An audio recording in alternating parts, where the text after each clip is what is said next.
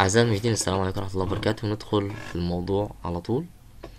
بعد ما بنيجي إن إحنا وبنظبط الموقع بتاعنا الإلكتروني ال website آه، أحيانا بيبقى فيه أخطاء. يعني مثلا زي هنا في القائمة ال- الحاجة السوداء الشريط الأسود ده دي اسمها قائمة. أنا مسميها قائمة one أنت ممكن تسميها أي قائمة لأن أنت ممكن تعمل أكتر من قائمة في ال website بتاعك. ممكن فوق في النص أو تحت. المهم وأنا بعمل القائمة طبعا كل دي صفحات. أنا بحط فيها المنتج بتاعي اللي أنا عايز ابيعه أو الخدمة اللي أنا هقدمها للجمهور. وممكن أنا اغلط واكتب حاجة أنا مش عايز مش عايزها تكون موجودة هنا. يعني مثلا أنا خليت دي بالعربي عشان أنا مش عايزها مع دول. يعني أنا غلطت مثلا وكتبتها.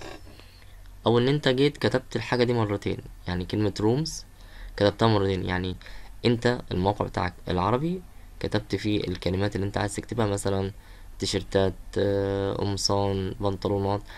جيت هنا في القوائم عشان الناس الجمهور وهم بيدوروا تحت البنطلونات أو تحت القمصان أو تحت ال shoes يعني ايا كان ال- الأمر هنا في القائمة. اتكرر معاك. طب أنا عايز أمسح دي. المهم ندخل في الموضوع على طول. إحنا هنا طبعا زي ما إحنا متعودين بنكتب الموقع بعدين دبليو بي آه بعد كده كلمة admin بدخل ال password user باجي هنا في حاجة اسمها إدارة ال widget أو القوائم.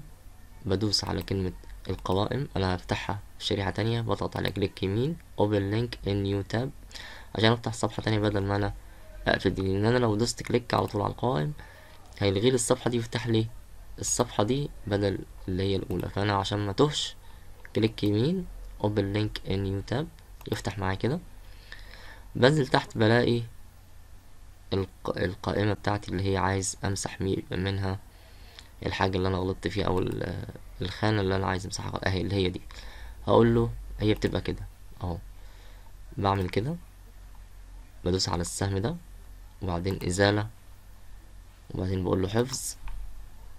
باجي في الموقع بتاعي شايفينها هي دي.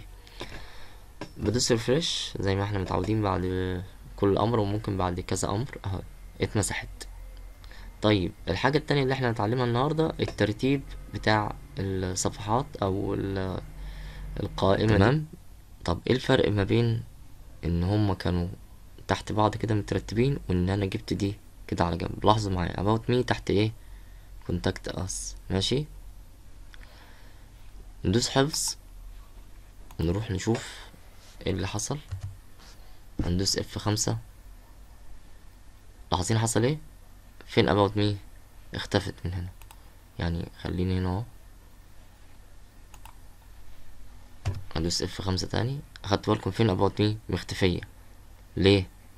نيجي هنا عند contact us أضغط عليها تظهر إيه؟ أخدت بالكم يبقى ده معناه إيه؟ إن ده اللي أنا عملته ده فرعي من ده. ده عنصر أو حتى هو راح كتب لك عنصر فرعي. من مين؟ من contact us. يعني لو أنا جبت ده كده هيبقى rooms عنصر فرعي من apartments. أدوس أدوس هنا حفظ القائمة. أروح للموقع بتاعي اف خمسة. وده معناه إن إيه؟ أنت ممكن تقلل هنا في الأوامر لأن أنت ممكن هنا هتلاقي يعني تحت الامر ده ممكن هتلاقي يعني إن أنت عايز تعمل كذا أمر. وصلت؟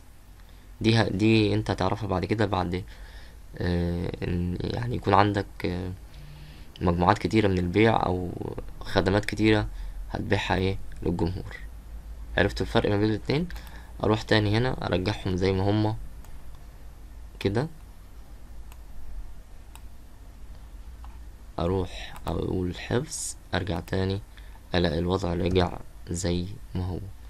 إن شاء الله أشوفكم الحلقة الجاية والسلام عليكم.